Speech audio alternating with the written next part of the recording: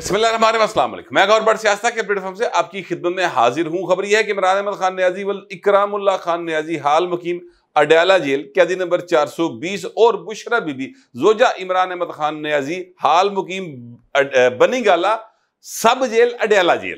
ٹھیک ہے یعنی وہ ظاہر ہے کہ چونکہ سب جیل قرار دیا گیا بنی گالا کا، تو اس لیے میں ان کا مکمل تعارف اور سکنا بھی دس رہے ہیں کہ سکنا کتوں دا اج ہے۔ ٹھیک ہے۔ اچھا اب معاملہ یہ ہے کہ ان کے حوالے سے ایک بڑی ڈیولپمنٹ ہوئی ہے اور وہ بڑی ڈیولپمنٹ جو ہے وہ میں آپ کو تھوڑی دیر میں بتاؤں گا، مگر اس سے پہلے میں آپ سے گزارش کروں کہ آپ جتنا مرضی ان کے اوپر مہربانیاں کر لیں، ان کو آپ جتنا مرضی انصاف دے دیو ہے جی انورٹیڈ کاماز میں، جتنا مرضی ان کے ساتھ آپ پیار کر لیں انہوں کا شکوہ ہی رہنا ہے، سانو یہ تھوڑا سچا پیار تو نہیں ملیا۔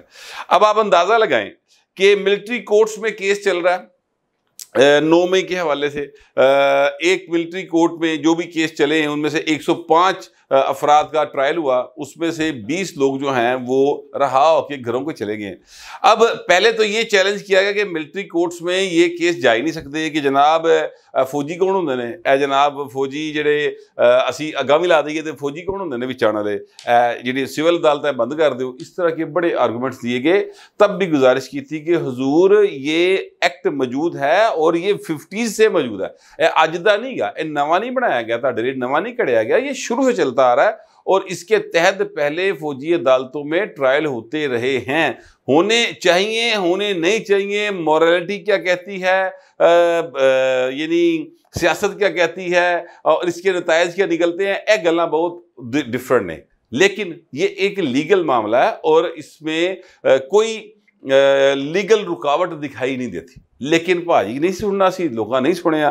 نتیجہ یہ نکلا کہ ان کو کنٹروورشل کر دیا گیا اور بات سپریم کورٹ آف پاکستان تک چلی گئی، جہاں پر جسٹس عمر عطا بندیال صاحب جو تھے، ان کی عدالت میں ان کے دور کے اندر پھر ایک بینچ بن گیا بینچ نے کہا جی ملٹری کورٹس نہیں ہو سکتیاں فارغ۔ نظر ثانی کی اپیل کی گئی۔ نظر ثانی کی اپیل میں انہوں نے کہا سپریم کورٹ نے، کہ جناب، آپ ٹرائل کرتے رہیں، سزا اناؤنس نہیں کرنی۔ اوکے ہو گیا۔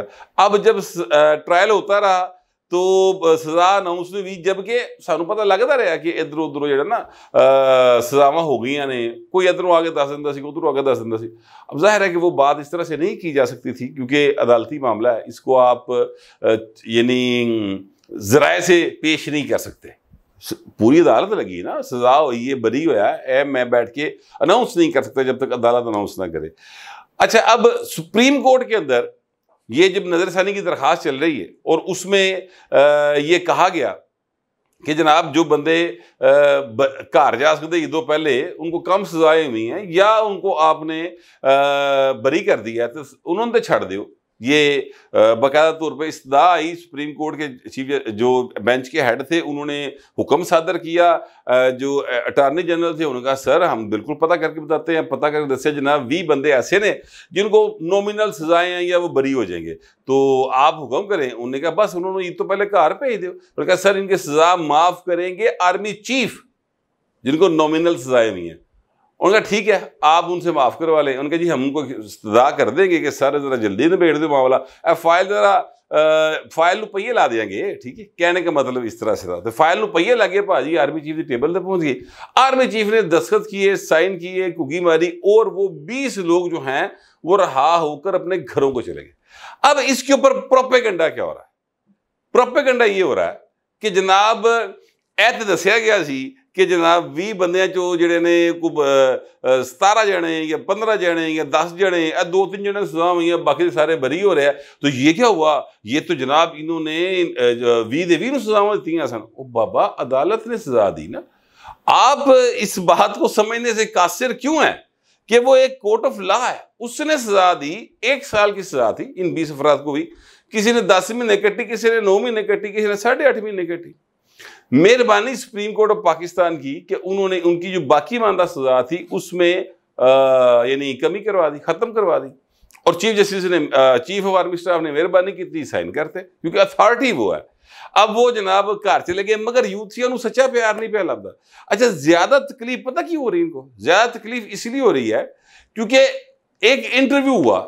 وہ ایک صاحب جو رہا ہوئے، وہ اپنے بچوں کے ساتھ بیٹھے تھے، اس انٹرویو میں ان جو انٹرویو کر رہے تھے متی اللہ جان صاحب انہوں نے پوچھا کہ جی کیسا آپ کا ایکسپیرینس رہا فوج فوج کے آپ یعنی ظاہر ہے گرفتار رہے ہوتے ان کے جی بڑا اچھا زبردست میری سیلف رسپیکٹ کو انہوں نے برقرار رکھا اور بہترین طریقے سے مجھے ٹریٹ کیا گیا پھر ان کے بچوں سے پوچھا کہ آپ بیٹا بڑے ہو گئے کیا بنیں گے تو سارے نے کہا ہم فوج میں جائیں گے سر یہ وہ جملے ہیں یہ وہ باتیں ہیں جیڑی یوتھیاں دے زخم آپ ہی لاندے نے ویسے اپنے آپ اتنے جڑا نمک دی طرح اور نہ لیمو نچوڑیا جا رہے ان جملوں نے ان کو تڑف نہیں دائی ہے سمجھ نہیں آ رہی کہ اسی انہیں کس طریقے دے نال اٹیک کری کیونکہ جو بندہ جیل کاٹ کے آیا ہے اب تو بری ہو گیا نا سر اب تو وہ آزاد ہے وہ اپنی مرضی سے اپنی منشا سے کوئی بھی بات کہہ سکتا ہے انہیں کہا نہیں سر بہت اچھا سلوک کیا گیا اور ان کے بچے کہتے ہیں جی کہ ایسی وڈے ہو گئے فوج ہی جانا ہے یہ تکلیف ہے۔ بہت زیادہ تکلیف ہے۔ رلا پایا ہے۔ چیکا مار رہے ہیں۔ یار، بس بڑا یہ تو دیکھے جی ابھی دے بھی بری ہونے چاہیے سن۔ اے دے جناب، آرمی چیف نے جناب، یا اسٹیبلشمنٹ نے جناب، یا جناب حکومت نے، بس ایویں۔ اچھا گل کوئی نہیں گوندی۔ بڑی زیادتی کی تھی۔ زیادتی کیا کی بھائی؟ ان کی سزائیں ختم کر دی گھر پہ زیادتی کی تھی۔ تڑا مطلب دو مہینے ہو رہا تڑے رہتے پھر ٹھیک سر گرمیاں نے دو مہینے لا کے سمجھ جانی سی بہر اینی ہاؤ یہ ایک معاملہ ہے جس پر یوتھی کافی تکلیف میں تھے اور ایک اور معاملہ ہے جو یوتھیوں کے لیے ریلیف کا باعث ہوگا اور وہ میں آپ کو بتانے لگوں وہ معاملہ کیا ہے وہ معاملہ یہ ہے کہ جو عدت میں نکاح والا کیس ہے عمران احمد خان نے عزیز صاحب کا اور بشرا بی بی کا یہ دونوں نے جو نکاح کیا اس کے اوپر خبر مانیکا صاحب کو چھ سال بعد غیرت پورے جاگی سی دی انہوں نے کیس کھڑکایا سی انہوں نے کہا ٹلی کھڑکائی کہ جناب میری بیگن جو ہے نا ان کو وہ بھگا کے لے گئے ورگلا کے لے گئے یا یوں کہہ لیں کہ جناب وہ میرے بچوں کو چھوڑ کے چلی گئی میرا گھر برباد ہو گیا بلکہ وہ تو دوران سماعت یہ بھی کہتے رہے کہ پنکی تمہیں چھوٹی بیٹی بہت یاد کر روتی ہے راتوں کو پھر وہ یہ بھی روحانی سی آواز بنا کے روحان سی سی سوری آواز بنا کے رونے والی آواز بنا کر وہ یہ کہتے رہے کہ جناب آپ کو پتہ نہیں، میرا گھر اجاڑ دیا اس شخص نے۔ یہ باتیں جو ہیں، خاور مانکا صاحب نے عدالت کے کٹہرے میں کھڑے ہو کر کی ہوئی ہیں۔ عدالت دے وچ کیتی ہیں، یہ ریکارڈ دا حصہ نہیں۔ اچھا اب معاملہ یہ ہے کہ اس کو، اس سزا کو چیلنج کیا ہوا ہے اور وہ چیلنج کیا ہوا ہے۔ ڈسٹرکٹ اینڈ سیشن کورٹ میں کیونکہ یہ جو سزا ہے، یہ دی ہوئی ہے مجسٹریٹ کی عدالت نے شاید سول سول جج نے، سوری، سول جج نے سزا دی ہوئی ہے۔ اس کو چیلنج کیا ہوا ہے ڈسٹرکٹ اینڈ سیشن کورٹ کے اندر، اور وہاں پر بڑے ہیوی ویٹ قسم کے وکیل ہیں جناب۔ یہ جو ہیں اپنا سلمان اکم راجہ صاحب جو ہار نہیں کہتے، لاہور سے الیکشن یہ اون چودھری صاحب کے مقابلے میں۔ جی انہی کی بات کرو وہ وکیل بہت اچھی ہے یہ بات میں آپ کو بتا دوں۔ اچھا وہ جناب وہاں پر موجود ہیں۔ اب معاملہ کیا ہے؟ یہاں پر وہ ٹرننگ پوائنٹ آ رہا ہے۔ جہاں پر یوتھیے جڑے نا، انہوں نے مٹھائیاں دے ڈبے آرڈر کر رہے ہیں۔ لیکن کھولنا نہ یار تاڑی مہربانی۔ اس کی وجہ یہ ہے کہ، چلے وجہ آپ کو تھوڑی دیر میں بتاتے ہیں۔ معاملہ یہ ہے کہ جو پروسیکیوشن کی طرف سے وکیل پیش ہوئے جناب رانا حسن عباس صاحب ڈسٹری پروسیکیوٹر جو ہے وہ پیش ہوئے تھے اور انہوں نے یہ کہا عدالت کو کہ جناب یہ جورس ڈکشن نہیں ہے اس سول جج صاحب کی جس عدالت نے یہ کیس سنا اور سزا سنائی ہے یہ اس کا بنتا ہی نہیں کیس سنانا اے کیس ہوتے لگنے نہیں چاہتا سی ایتے اس عدالت کا دائرہ اختیار ہی نہیں سی گا اب یہ بات کون کہہ رہا ہے؟ یہ بات وہ کہہ رہا ہے جو جناب عمران خان صاحب کا مخالف وکیل ہے۔ بشرا بی بی کا مخالف وکیل ہے۔ جڑا دوجے پاسیوں حکومت لو پیش ہویا ہے۔ وہ یہ کہہ رہا ہے کہ یہ تو عدالت ہی نہیں ہے سر، جس میں یہ کیس سننا جائے سنا جانا چاہیے تھا۔ اتنا سزا مطلب پتہ نہیں کیوں دیتی پڑھ کے۔ اس پر جو بشرا بی بی کے وکیل ہے انہوں نے جناب تھمز اپ انہوں نے کہا، کیا بات ہے؟ زبردست چھا گئے ایتے بھائی ساڑھے نال نکل ہے۔ اتنے جو سا رہا لگے۔ اب یہ وہ معاملہ ہے جس کے اوپر یوتھیے بڑے خوش ہیں۔ کہ لو جی عمران خان صاحب جو ہیں، ان کو امید بندی، مٹھائیاں دے آرڈر شارڈر کرتے کہ آئیو جناب مٹھائی شٹائی لے کے آؤ۔ بریت دی اطلاع لگی ہے، کیس متل ہونے دی اطلاع لگی ہے۔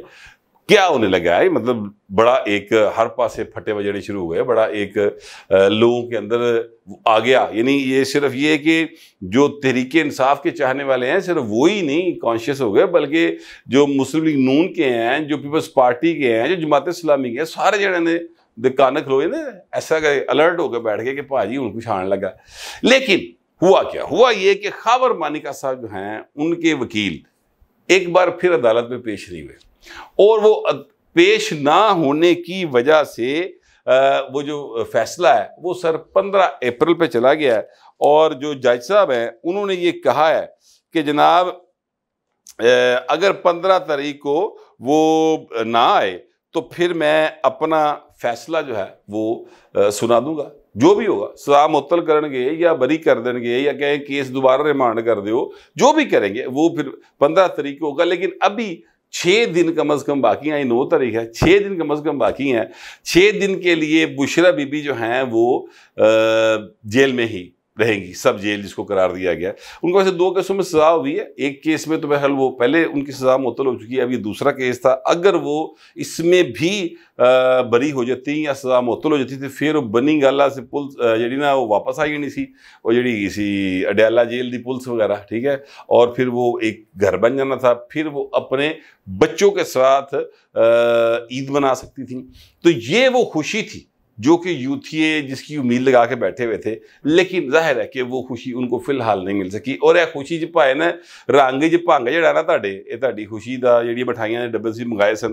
وہ تسی اگر پراپر طریقے سے نہیں انجوائے کر سکے ہو، تو اس میں قصور جو ہے، وہ سابق خاتون اول کے سابق مرد اول کا اثر ٹھیک ہے؟ یعنی اس میں پاکستان کی موجودہ حکومت کا یا اسٹیبلشمنٹ کا کوئی قصور نہیں۔ انہوں نے پوری ٹل دیتی نا تانوں۔ انہوں نے بقایا طور پہ انہوں نے وکیل نے کھلو کے کہتا یار کہ ایس عدالت کا کام ہی نہیں سی گا جنہیں سزا دیتی اس تو پیچھے گل کے نہیں رہ گئی؟ لہٰذا وہ خاور مانکا صاحب کا وکیل جو ہے نا وہ نہیں آیا۔ اور اس کی وجہ سے یہ معاملہ ہو گیا ہے۔ بہرحال عید کے بعد اس کیس میں سے مجھے لگتا ہے کہ خان صاحب اور بشرا بی بی جو ہیں ان کی جان چھوٹ جائے گی۔ لیکن یہ پھر اگین عدالت نے فیصلہ کرنا ہے، میں نے نہیں کرنا۔ مگر یہ اور یہ مگر جو ہے نا، یہ این جے جی میں یوتھیوں کے لیے مگر مچ ہو۔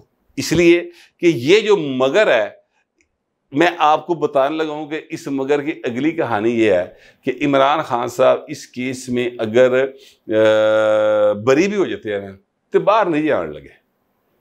باہر وہ تبھی آئیں گے جب وہ سارے کیسوں میں سے ضمانت پہ آ جائیں گے یا بری ہو جائیں گے، پھر ہی وہ جیل سے باہر آ سکیں گے۔ اور ابھی اس کا امکان مجھے کافی کم دکھائی دے رہا ہے۔ میرے پاس جو اطلاع تھی اور جو میرا خیال تھا، وہ میں نے آپ سے شیئر کر لیا۔ آپ دوستوں درخواست ہے، کمنٹ ضرور کیجیے گا، مگر ذرا تہذیب کے ساتھ۔ فی الحال کتنے ملتے اگلے بلا